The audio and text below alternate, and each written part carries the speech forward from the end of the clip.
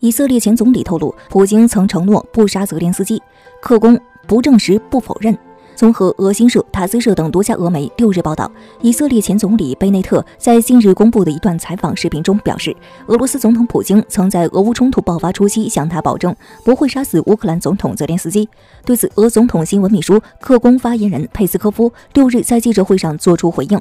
俄新社报道称，佩斯科夫当天在记者会上说，在贝内特担任总理期间，普京与其进行过非常密集的对话，他们经常交流，既有私人交流，也有电话会谈。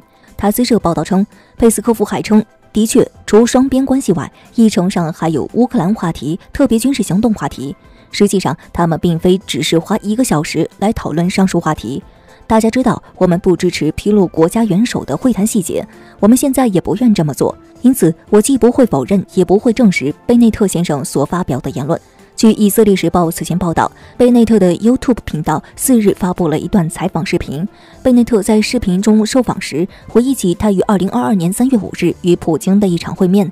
当时，贝内特在俄乌冲突爆发不久后飞往莫斯科，尝试从中斡旋。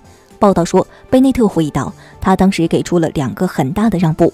我当时知道泽连斯基受到威胁，待在一处地堡中。我问你打算杀死泽连斯基吗？他回答：我不会杀死泽连斯基。”以色列时报还援引贝内特视频中的说法称，普京当时还同意不要求乌克兰解除武装。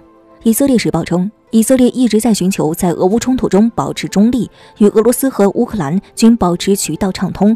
而以色列现任总理内塔尼亚胡在一月三十一日播出的一段采访中表示，他正在考虑向乌克兰提供军事援助，而且他愿意充当调停人。